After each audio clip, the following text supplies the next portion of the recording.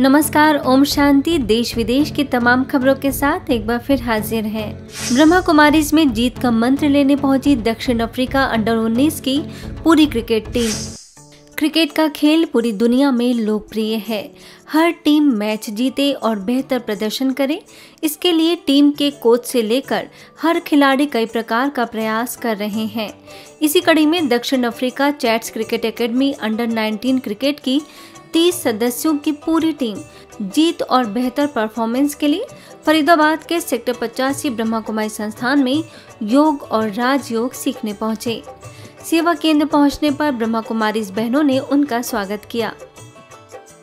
खिलाड़ियों के लिए खेल में जादू का काम करता है राजयोग, जिस पर सभी को प्रशिक्षित किया गया।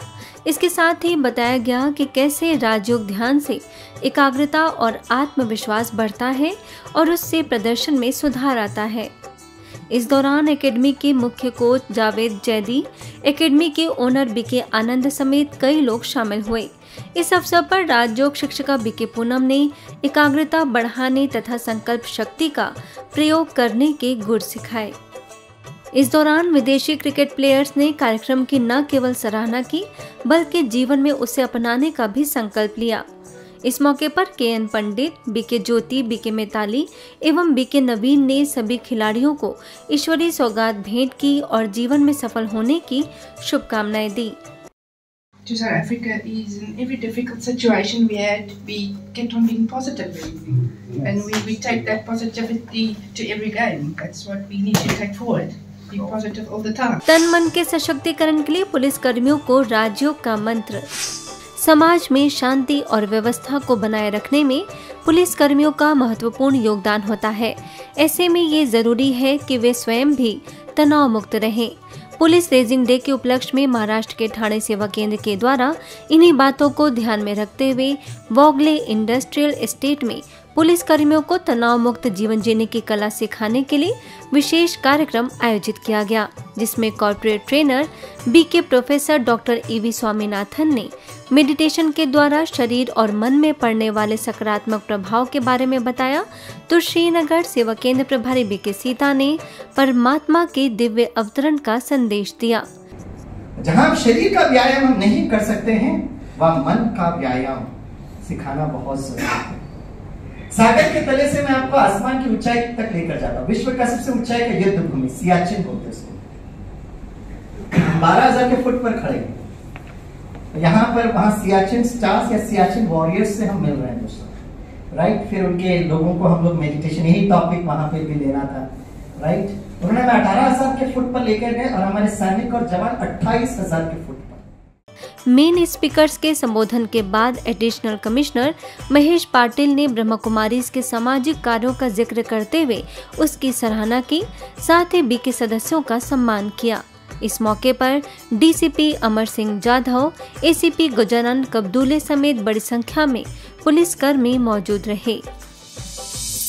हमने कभी सूर्य उदय होते नहीं देखा, इसलिए हमारा सूर्य यहाँ उदय नहीं हो रहा है। तो क्या इस वर्ष का एक एजेंडा ये भी हो सकता है कि हम सूरज को उठाएँगे? Means we'll get up before sunrise is positive. और वो मजबूरी वाला उठना नहीं है। ये मेरी चॉइस है। ये मेरे महान देश की महान संस्कृति है। अर्ली बर्ड कैचेस हाई तो अगर मुझे ज़िंदगी में आगे जाना है तो मुझे क्या करना पड़ेगा? क्या करना पड़ेगा? मुझे जल्दी उठना ही पड़ेगा। और जल्दी उठने के लिए मुझे जल्दी सोना पड़ेगा। दैट्स ऑल कुछ नहीं है। नए वर्ष की शुरुआत हम महान संकल्पों से कैसे करें?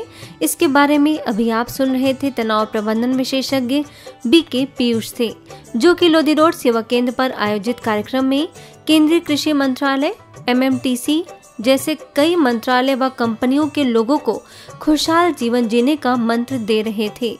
इस दौरान सेवा केंद्र प्रभारी बीके गिरिजा ने परमात्मा द्वारा प्राप्त ज्ञान, गुण और शक्तियों के खजानों को व्यर्थ न गंवाने का संदेश दिया तो एमएमटीसी के निदेशक आर आर सिन्हा व अन्य अतिथियों ने राजयोग से होने वाले लाभ को अनुभव के रूप में साझा किया। हमारे अंदर बहुत सारी अच्छाइयाँ हैं, गुण हैं। हम सबके अंदर कोई ना कोई जितने भी लोग बैठे हैं ना, सबके अंदर कोई ना कोई खूबियाँ हैं, गुण हैं। उन गुणों को हमें यूज़ करना है। हम अपनी अच्छाइयों को अगर बताना चाहें, हम सब अपनी अपनी एक अच्छाइयों बताते हैं, हम सब जानते हैं। तो उन अच्छाइयों को बढ़ाते जाइए। आज से करीब बत्तीस साल पहले मेरे भी एक स्पिरिचुअल गुरु थे, उन्होंने भी मुझे यही चीज़ बताई थी। उस वक्त मैं बहुत यंग था। उन्होंने कहा, देखो कि ये जो मॉर्निंग का जो भी दस मिनट का मेडिटेशन तुम करते हो you are preparing for the war of the day और जो शाम में जाके तुम अपना दस मिनट करते हो तो तुम जितनी बाहर से गंदगी लेके आए हो, बस उसकी सफ़ाई कर लेते हो। यू आर क्लीन मैन मैं तो शुक्रिया करता हूँ ब्रह्मा कुमारी ऑर्गेनाइजेशन को, शिव बाबा को जिन्होंने इतना सुंदर ज्ञान लेकर के हम लोगों को इस लायक बनाया कि जो है किसी भी परिस्थिति में रहते हुए हम लोग शांत रह सकते हैं कूल रह सकते हैं।